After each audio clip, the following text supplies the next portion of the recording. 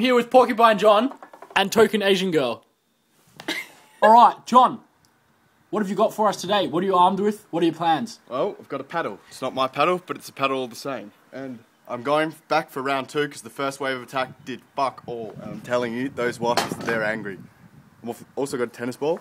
What are you going to do with the tennis ball, John? Well, we're going to stir it up.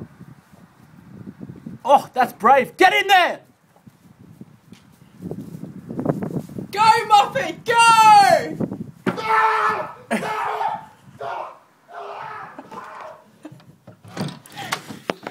tell if he's actually in pain or not. He definitely is. John! Stung me on the fucking head! It's what you get for playing with wasps. Are you alright, John?